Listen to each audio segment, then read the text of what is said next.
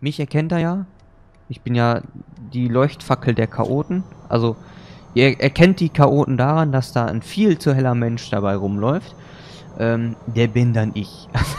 also, wenn da ein sehr heller Mensch bei einer Menschengruppe rumläuft.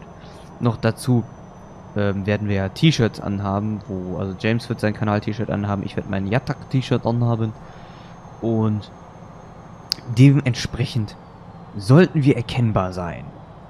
Ja, ja, so ist das.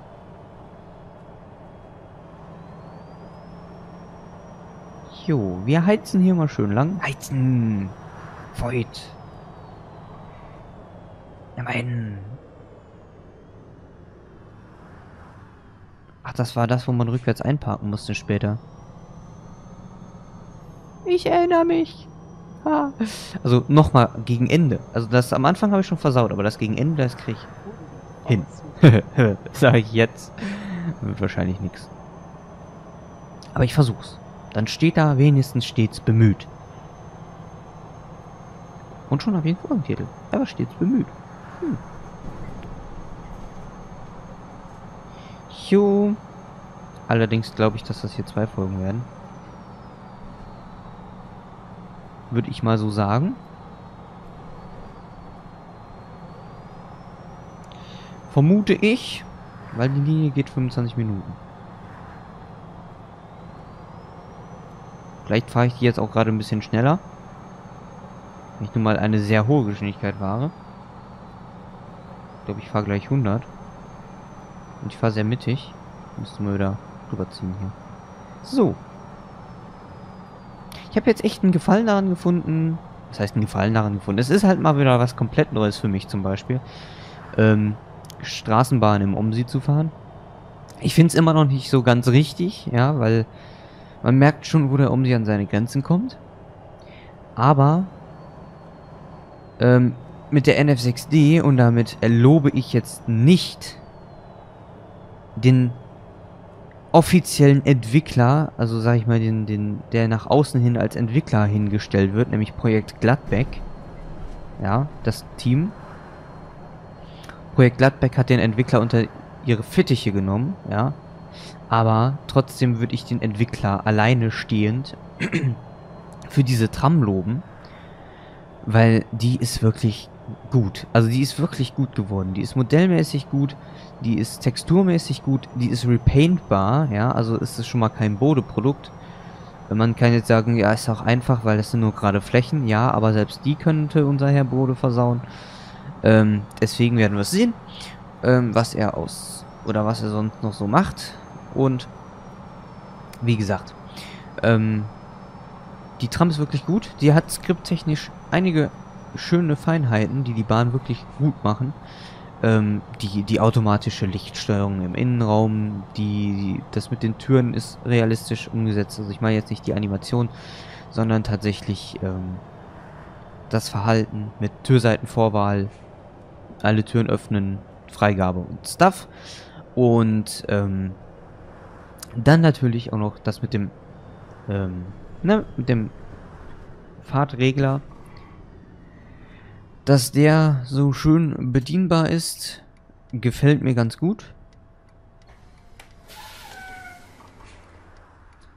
Weil ähm, man hat halt nicht bei diesen, bei den Freeware-Trums, das ist halt wirklich ein Unterschied, bei den Freeware-Trums, Freeware-Trum, oh Gott, Freeware-Trumps, Donald Trumps, bei den Freeware Donald Trumps hast du dann das Problem, dass es oftmals, ich rede nur davon, dass es oftmals so ist, dass du ähm, den steuerst wie ein Bus. Heißt, du gibst Gas und solange du Gas gedrückt hältst, beschleunigt diese Tram, es sei denn, sie kommt an ihr Limit.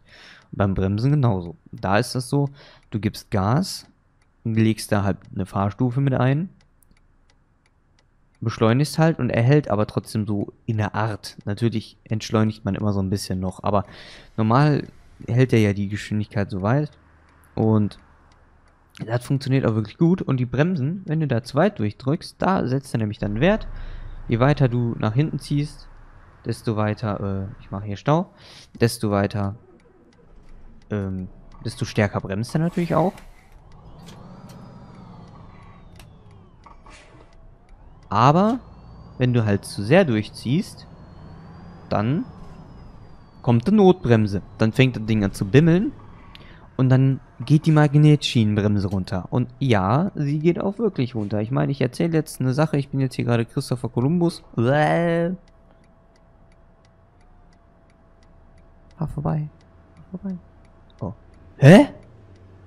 Hä?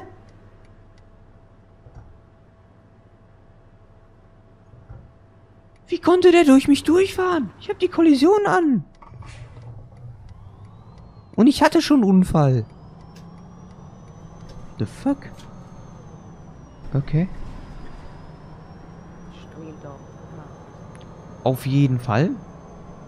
Äh, ne, wie gesagt, ich schwadroniere jetzt gerade über was, was schon viele vor euch, von euch vor mir ähm, erstaunt hat, wahrscheinlich, oder begeistert hat.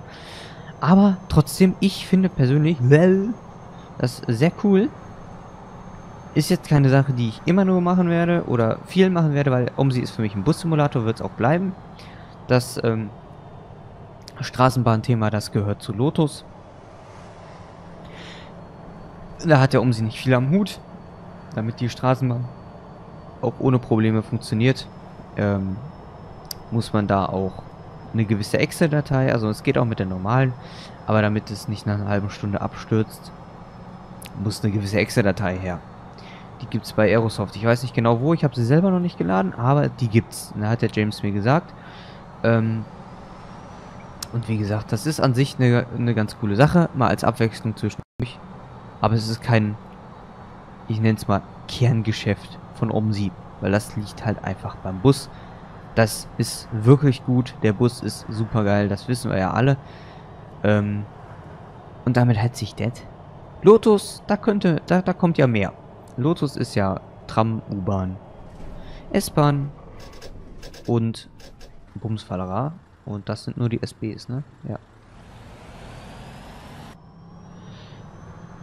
Das kommt ja dann alles, dann muss die Bahnphysik auch funktionieren, dann muss es auch mit den Bahn-Spawn-Punkten funktionieren, ja, das, ähm, ein Bahnspawnpunkt schön nicht einfach irgendwo hin spawnt, sondern dass man da spawnt, wo man auch spawnen möchte. Das ist wichtig. Das macht die Omsi-Bahn nämlich aktuell nicht. Wie ich ja schon sagte, die Fahrplan sucht, die, die Fahrplan, die Bahn sucht sich den Fahrplan, nicht du.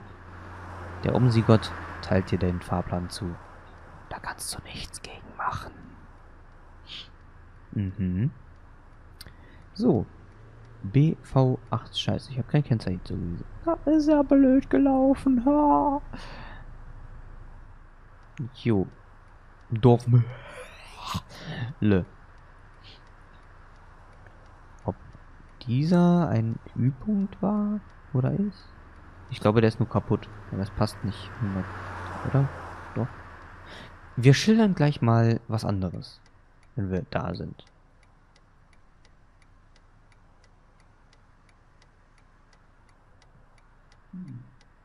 Oh Mensch, wo ist die Zeit nur hin?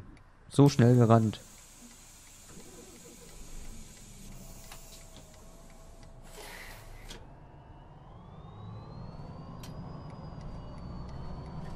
Vier, eins, zwei, drei. Und ach übrigens, nur weil ich nur gesagt habe, der Sound gefällt mir, heißt das nicht, dass ich jetzt MAN-Fan bin. Heißt nicht. Ich bin immer noch Mercedes Citaro-Fan. Heute ist nur der immer ein Dienstag. Ja gut, und für euch noch ein Donnerstag dazu. Aber Strilldorf Dorfmühle. Dann fahren wir jetzt mal ein bisschen langsamer und genießen die Landschaft.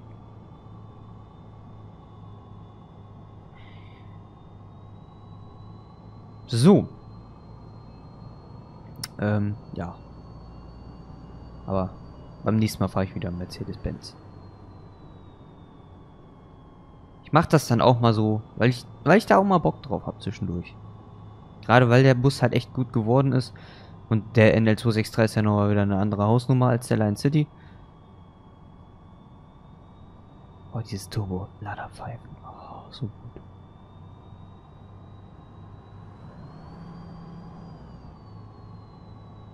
Ja, so. Okay, fahren wir dann jetzt mal ein Stückchen schneller. Müssen jetzt nicht hier mit 30 den Berg hochkraxeln. Das ist dann auch ein bisschen doof.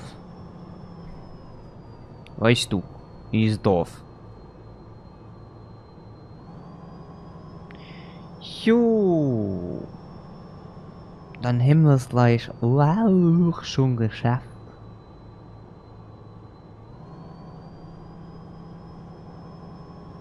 Und dann sind wir gleich auch schon da. Ich glaube, Stolldorf Dorfmühle ist wirklich die nächste. Ja. Und wir haben es 1,7 Verfrühung. Der ist sehr, sehr, sehr, sehr lässig, der Fahrplan. Ich schleiche den Berg hoch und wir haben 1,7 Verfrühung. Eine Sache, die ich mir manchmal bei Bussen auch wünschen würde, Verfrühung. Hm. Aber gut.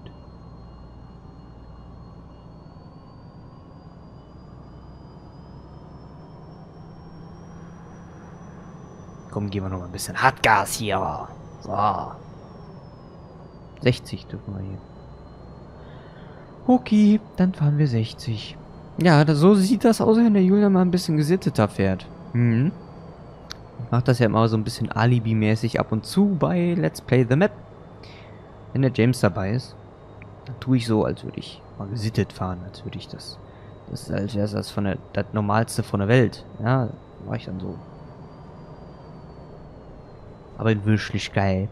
Gut, mach ich halt echt selten, dass ich so gesitteter fahre. Weil ich halt einfach gerne heize. Ich gebe halt, halt gerne Gas. Wenn das Gaspedal auf dem Boden scheppert und der Motor brüllt, Turbolader pfeift, das macht Spaß. Wenn du den so richtig schön pushen kannst.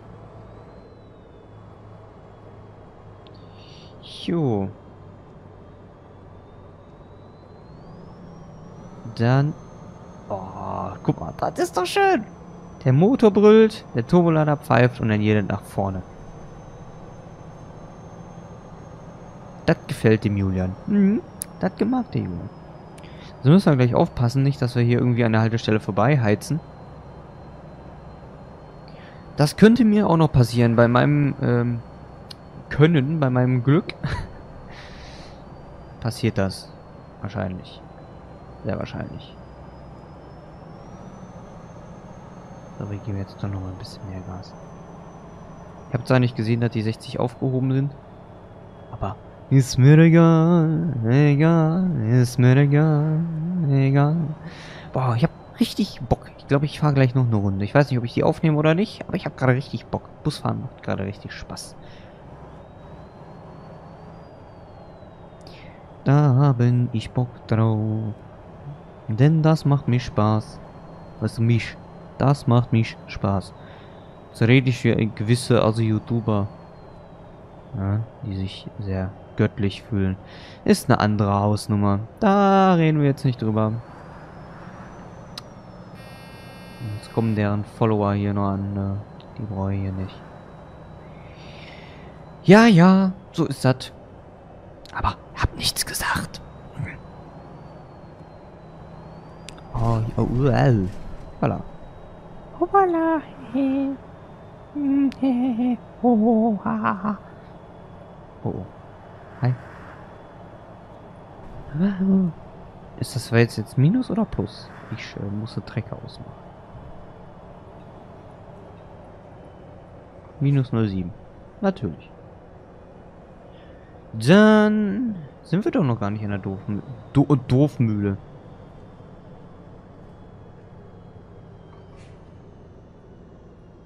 Streldorf Markt. Der war einen zu weit, der Bus. Geht aber nicht. So, Streldorf Markt. Eine Kurzstrecke. Nimm die hier.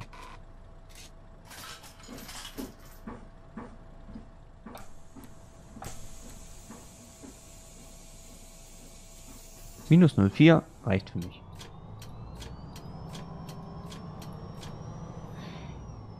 Ähm, nimm, nimm, nimm, nimm. Links.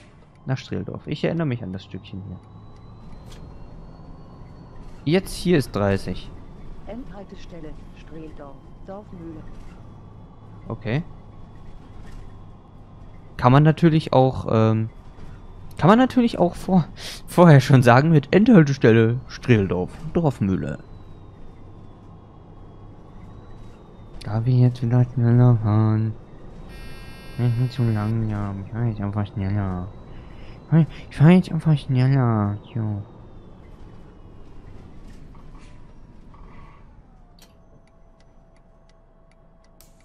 So, hier muss ich die Leute rauslassen und dann fahren wir zur Pause.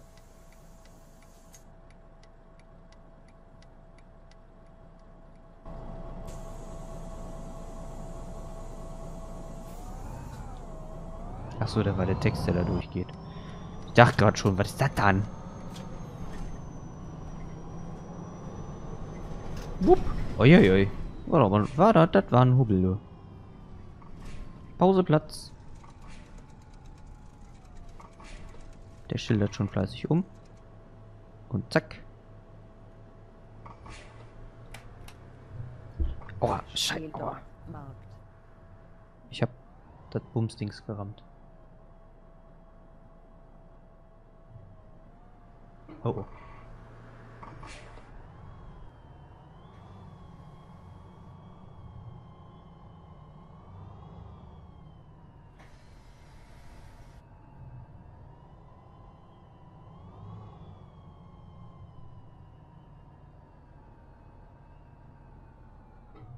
Oh. Ich stehe in der Botanik.